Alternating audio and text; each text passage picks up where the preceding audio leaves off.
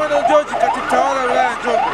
Tumepokea masikitiko makubwa sana, kuna moto umetokea kwenye maeneo ya soko ama kwenye vibanda vya, vya Chama cha Mapinduzi.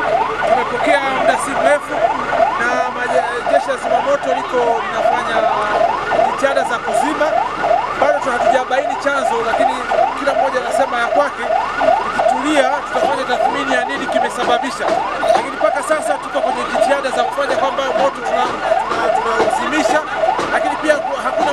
kwa, binadamu. Lakini kama mnavyoona moto ni mkali, lakini vyombo vya, vya dola na wananchi wanashughulika kuuzima.